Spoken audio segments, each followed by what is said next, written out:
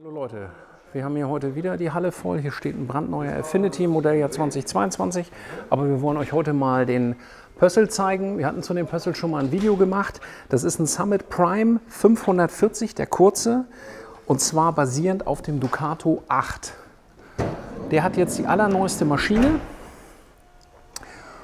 Eisengrau und für viele ja ein super Auto, weil man damit überall einen Parkplatz und so bekommt.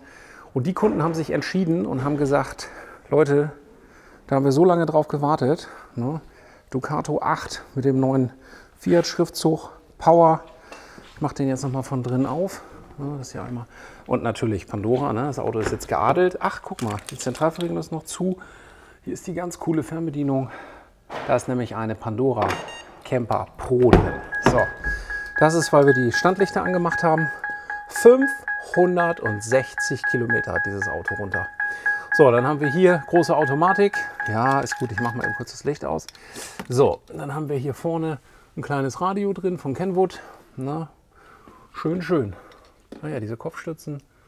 Oben das Licht integriert in dem Rahmen von der Dachluke. Vorne dieses Skyroof. Ne, da haben die ja irgendwie ein Patent oder einen Namen drauf. Und ein sehr schönes, kompaktes Fahrzeug. Ne, die neuen Türen. Ja, ich kann das auch noch mal anmachen. Ich weiß, das wollen wieder einige sehen. Wie sieht das aus? Wenn der hier startet, Schlüssel rein. So, Cockpit, zeig dich mal. Tada! Und dann geht er an und dann machen wir wieder aus. Na, kann man umschalten, Start-Stopp-Automatik. Und hier die neuen Lüftungsdüsen. Ja, und das Lenkrad, ne, brauchen wir nicht drüber reden. Das haben die echt schön gemacht. Das sieht wirklich toll aus heute. So, nochmal reingucken und dann nochmal ganz kurz Bedienung. Volles Bild, so sieht er aus, der kleine. Obwohl er ja gar nicht so klein ist. Echt schick. Fiat. So. Und hier muss ich wieder aufmachen, hinteren Bereich. Genau, wir haben nämlich jetzt als Besonderes auch den, den hinteren Bereich können wir separat steuern bei diesen Fahrzeugen.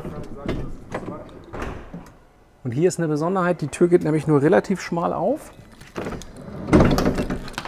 weil hinten ist eine kleine Scheibe. Und wenn das zu weit nach hinten gehen würde, dann kann diese Scheibe abbrechen. Darum haben die das so gemacht, dass hier wirklich eine Bremse ist und man muss jetzt hier einsteigen in das Fahrzeug. Kompakte kleine Dusche, kompaktes kleines Bett. Dachluke, wie ihr seht, weiße sind die äh, Sensoren. Das ist also unser Sensor, unser Dachsensor für der Pandora. Am Fenster drüben der schwarze Sensor Pandora. Ja, und wer sich mit dem Auto jetzt anlegt als Dieb, der kriegt so dermaßen auf die Fenster, äh, der kriegt so dermaßen einen auf die Finger. Einmal oben drücken. Alarmanlage ist freigeschaltet. Schloss ist offen. Ich drücke hier einmal drauf. Auto ist jetzt geschärft. Zentralverriegelung ist zugegangen. Hier ist alles aktiviert. Alles startklar bei dem Fahrzeug. In dem Moment, wo ich jetzt den Wagen ärger, schlage, trete, hier irgendwas mache, ne? ich gebe ihm jetzt hier mal, reicht schon, fertig. So, Voralarm ausgelöst. Wenn ich ihn stärker schlage, hier mehr Programm mache, Alarmanlage voll ausgelöst. Meldung, Schocksensor ausgelöst. So, ich breche das ab und im Hintergrund wird auch noch mal eine Alarmanlage getestet. ich mache nochmal Panikalarm an. Hört euch, ich fliege ja mit den Ohren weg. So, Panikalarm geht auch. Wenn ihr die beiden oberen Knöpfe kurz reindrückt. So, ja, das waren jetzt alle Funktionen, haben wir euch gezeigt. Also, das ist der ganz aktuelle Summit Prime 2022, 5,40 Meter. Wenn euch das Thema Alarmanlagen interessiert, dann meldet euch bitte unter canforce.de slash Kontakt bei uns. Wir haben hier vorne als Besonderheit noch einen LoRa-Pager und der blinkt jetzt rot, wenn die Alarmanlage scharf ist. Ne? Habt ihr sonst Fragen? canforce.de slash Kontakt oder ihr ruft mal an unter canforce.de im unteren Bereich findet ihr die Telefonnummer. Das war's Sven von Canforce. Habt eine gute Zeit und bis bald. Jetzt hier alles verbaut, was Rang und Namen hat im Bereich der Alarmtechnik. Bitte lasst es euch nochmal auf der Zunge zergehen. Das ist das beste und modernste Alarmsystem, was es auf dem Markt gibt. Nehmt uns beim Wort, ruft uns an, wir erklären euch das gerne warum. Oder ihr schaut mal die Videos, ist eigentlich selbsterklärend.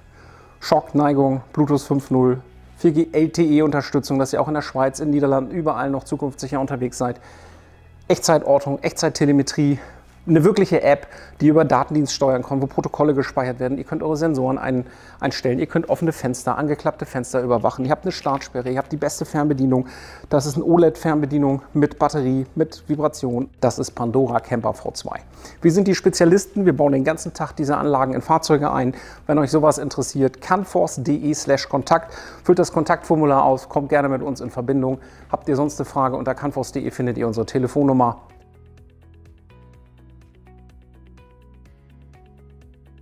Wir haben den standardmäßigen, ganz normalen, ganz neuen Schlüssel. Ich finde, der ist echt gut gelungen. Der sieht mal richtig nett aus gegen den alten Plastikschlüssel, den die gehabt haben. Wir können das Fahrzeug nochmal verriegeln. Wir können das Fahrzeug hinten öffnen. Wir können das Fahrzeug komplett schließen. Zur Sicherheit, neben dem Fiat-Schlüssel kommt jetzt eben die Besonderheit dazu. Wir haben einen Pandora DI030 Funkschlüssel, Token, 128-Bit verschlüsselt, Bluetooth-Basis, wie auch immer ihr das nennen wollt. Das ist euer Teil, um euch auszuweisen, der zweite Faktor, damit das Fahrzeug bei euch bleibt. Ich habe oben einen USB-Anschluss, ich kann den aufladen.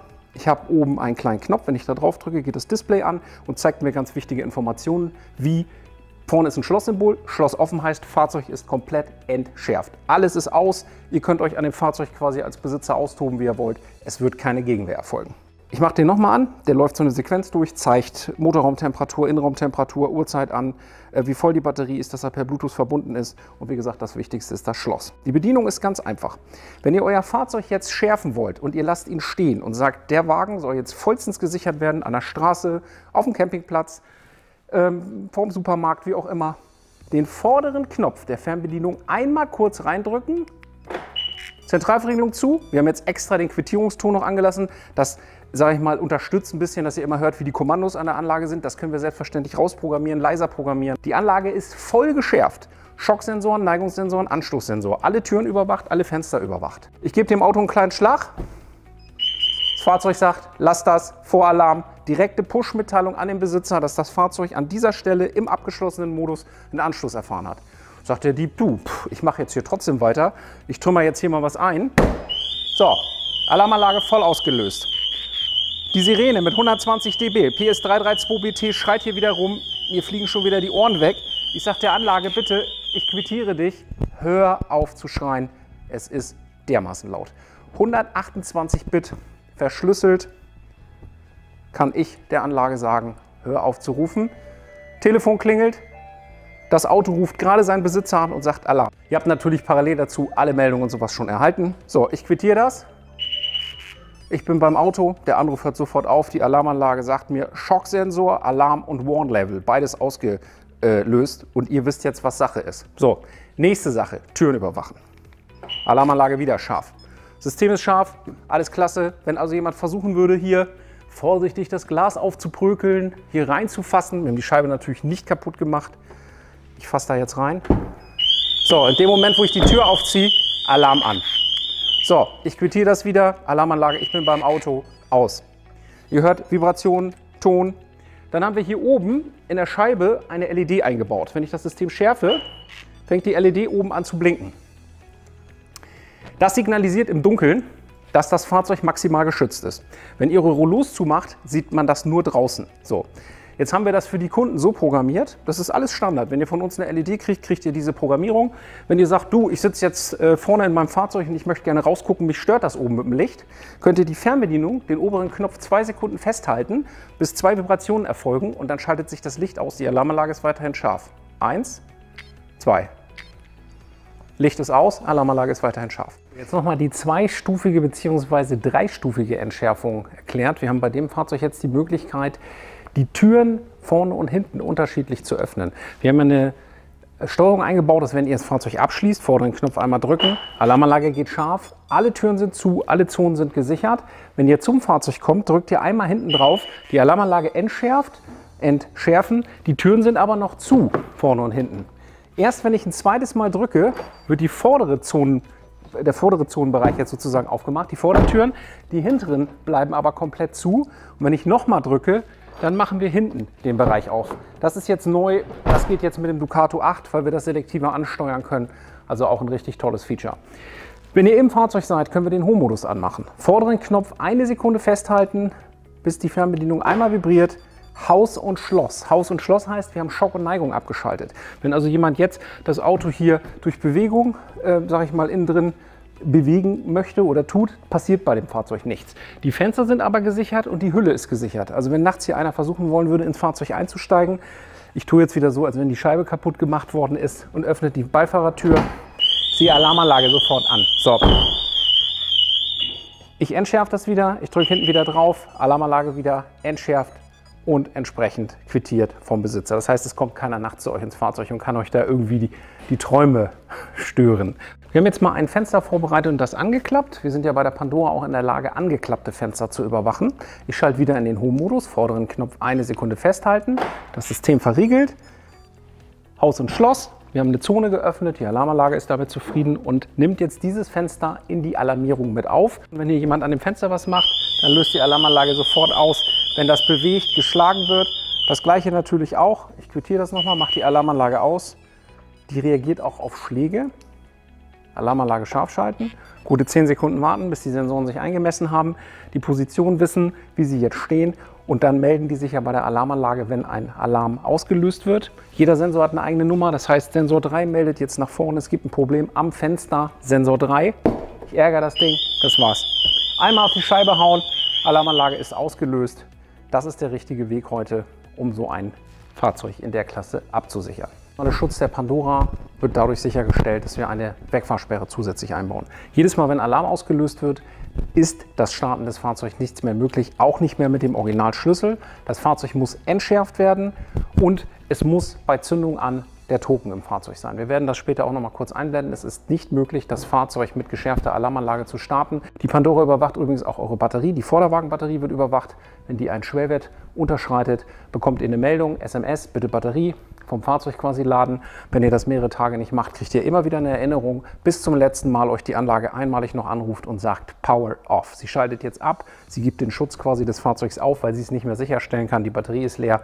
Die Sirene wird dann anfangen, Wahnsinnsalarm zu machen, weil sie auch sagt, die Spannung ist weg, die Sirene, äh, die Alarmanlage ist verschwunden, hier stimmt was nicht, Sabotage. Also das Fahrzeug schützt sich sozusagen bis zum letzten Atemzug mit dem System. Die Wegfahrsperre nochmal in Aktion. Aktuell ist das System nicht geschärft. Ich werde jetzt schärfen mit offener Fahrertür. Das System wird mir einen Ton geben und sagen, okay, es ist eine Zone offen. Das will ich ja in diesem Fall. Und in dem Moment, wo ich die Zündung anmache, die Zündung ist eine weitere Alarmzone, sagt das Alarmsystem sofort, wir lösen Alarm aus und wir unterbrechen den Start. Also, Alarmsystem schärfen. System hat gemeckert und sagt, Achtung, wir haben eine offene Zone, Fahrertür. So, ich stecke den Schlüssel vom Fiat jetzt ins Schloss und fange an, und versuche zu starten. In dem Moment, wo ich die Zündung anmache, geht das Fahrzeug in Alarm. Ich drehe weiter und will starten. Alarmanlage an. So, ich drehe, Fahrzeug geht nicht. Ich kann hier nicht starten. So, Schlüssel raus, Alarmanlage abschalten, komplett deaktivieren. Sie wird jetzt meckern und mir sagen, dass wir einen Alarm auf Verzündung hatten, dass die Tür offen war. Alles richtig, das ist ja auch passiert. So, Fahrer ist wieder an Bord, Alarmanlage ist entschärft, Token ist hier, ich stecke wieder den Schlüssel ins Schloss. Wenn ich jetzt durchstarte, dann geht das Fahrzeug sofort wieder an. Das ist die überlegenste Geschichte, sein Fahrzeug zu sichern. Keine Krallen, kein Krimskrams, elektronisch gesichert. Und das Coolste ist, diese Sperre könnt ihr sogar elektronisch auslösen, wenn euch jemand einen Schlüssel klaut oder euch die Token abnimmt. Brutalerweise, was auch immer, könnt ihr das Fahrzeug anrufen und legt das Fahrzeug still. Habt ihr in sowas Interesse? Canforce.de slash Kontakt oder ihr ruft mal an. In dem Sinne, habt eine gute Zeit. Das Canforce-Team verabschiedet sich. Ciao.